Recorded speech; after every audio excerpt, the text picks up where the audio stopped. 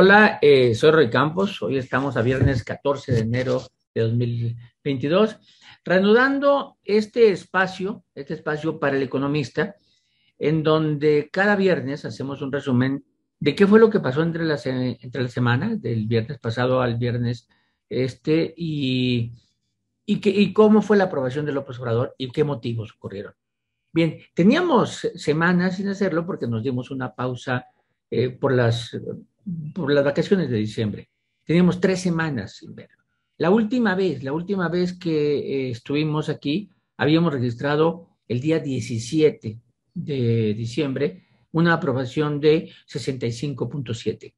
Después de ese, vimos tres descensos consecutivos de 65.7 pasamos el día 24, la Nochebuena, a 65.1. Luego el último día del año, 64.5. El primer, el primer viernes, el primer viernes de, de enero, es decir, el viernes pasado, viernes 7 de enero, ya estaba la aprobación abajo de 64. En esas tres había pasado de casi 66 abajo de 64, 63.7. Bueno, después de esos eh, descensos consecutivos en la aprobación del López Obrador, este viernes aparece 63.8. Muy estable. Toda la semana estuvo muy estable. Toda la semana se comportó entre 63.7 del viernes pasado y 64 de, del martes, de lunes y martes.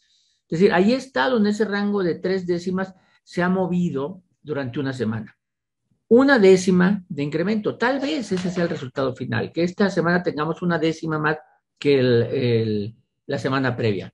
Pero ojo, son en general dos puntos menos de lo que estaba mostrando diciembre. Es decir, enero no está registrando una popularidad similar a la de diciembre. A un pisito abajo, dos puntos abajo, en promedio 64. En resumen, el viernes pasado el viernes 7 de enero, 63.7. Hoy, viernes 14 de enero, 63.8. Una semana llena de coronavirus.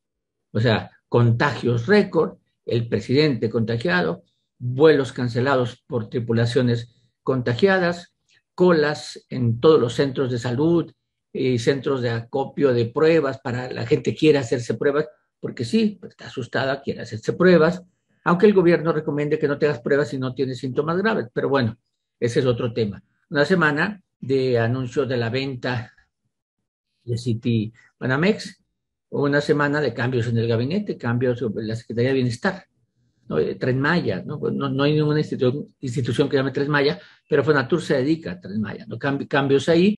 Una semana de intensos fríos, ¿no? O sea, una, una semana llena de inseguridad en muchos estados, eh, pero sobre todo dominada por el coronavirus, hay que decirlo, ¿no? Por el tema de los contagios.